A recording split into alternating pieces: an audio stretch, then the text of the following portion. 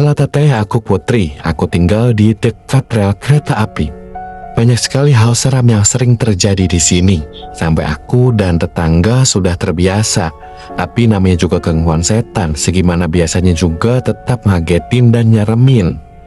Rumahku masuk jalan yang semigang gitu, lumayan lebar. Sisi kiri adalah rel kereta, sisi kanan adalah bangunan-bangunan milik PCKA yang kebanyakan sudah tidak digunakan, bersambung perumahan warga yang salah satunya adalah rumahku. Sebelum ketemu gapura masuk komplek rumahku, kita harus melewatin mes PCKA terbengkalai. Bangunannya besar-besar, bangunan jadul dan tidak terawat.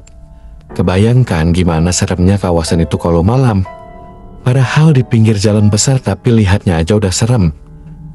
Pernah ada satu kejadian, tetanggaku baru saja pulang berjualan gorengan memakai sepeda yang ada keranjang di depannya.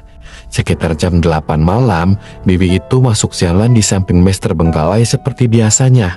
Tiba-tiba, ada sesuatu yang lompat ke dalam keranjang sepedanya.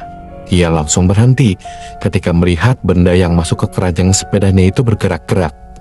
Dia pikir anak kodok soalnya bentuknya kecil. Karena kawasan itu gelap, si Bibi mencari tempat yang terpancar lampu penerangan.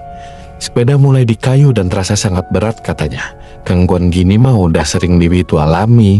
Sambil terus membaca doa di dalam hati dan hampir sampai di gapura perumahan, Bibi itu berteriak kencang. Keluargaku langsung berlarian menghampiri karena memang rumahku paling dekat dengan gapura. Kata bapak, Bibi itu menceritakan tentang apa yang melompat masuk ke keranjang sepedanya. Lalu Bibi itu menjerit karena melihat di dalam keranjang sepeda itu bukan anak kodok seperti dugaannya, tapi jempol tangan yang terus bergerak-gerak seperti sedang kesakitan. Bapak sendiri nggak ngelihat ada jempol tangan di keranjang sepeda itu. Ada lagi kejadian lain yang lumayan memorable ada seorang pemuda kampung seberang, sebut aja Adi. Adi terserempet kereta Cirebon Express waktu itu. Kejadiannya juga jauh dari sini sebenarnya. Menurut cerita, sore itu, Adi yang habis main bola di lapangan dekat bengkel kereta, itu teleponan dengan pacarnya. Karena pembahasan teleponnya mungkin agak serius, jadi dia menjauh dari teman-temannya. Dia pergi ke dekat rel kereta aktif. Dia teleponan agak mencak-mencak itu kayak yang sedang bertengkar. Mungkin karena teman-temannya menilai jarak Adi teleponan dengan rel kereta itu aman, mereka nggak mengingatkan Adi kalau akan ada kereta yang lewat. Begitu kereta lewat, ternyata Adi terpental jauh. Ia terserempet sampai meninggal di tempat. Salah satu lengannya lepas. Hari setelah kejadian, para pemuda di lingkungan rumahku seperti biasa, kumpul malam minggu di balai Siskamling di bawah rel. Balai atau pos kambingnya itu masih terlihat dari depan rumahku walaupun jaraknya agak jauh.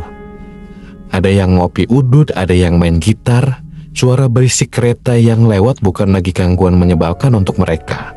Sekitar jam 11 malam, salah satu dari pemuda di sana melihat ada seseorang yang sedang berjalan dari arah Mester Bengkalai mendekati mereka.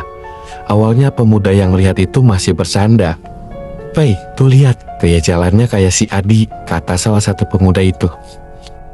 Dibalas juga nih dengan candaan oleh yang lain.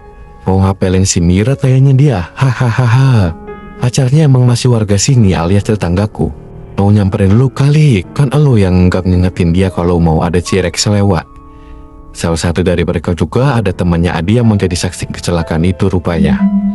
Tapi candaan mereka terhenti ketika bayangan lelaki yang sedang berjalan itu semakin mendekat.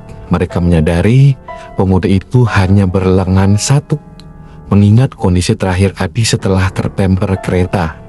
Mereka langsung berhamburan lari meninggalkan pos kambling sebelum Adi datang lebih dekat.